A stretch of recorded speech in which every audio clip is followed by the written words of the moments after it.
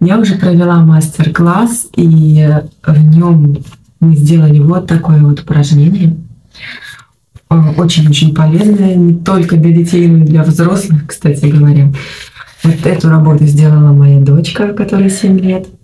В прямом эфире я рассказала о плюсах рисования. Если честно, прям нереальные плюсы. Пройдите, посмотрите. Очень приятна ваша обратная связь.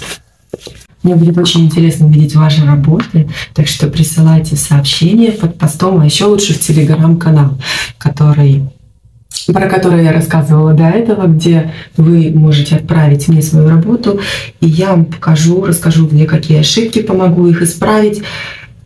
В общем, хорошего вечера. Сейчас видео с прямого эфира обрабатывается. Как только оно обработается, я смогу его выложить, и оно станет доступным. Welcome.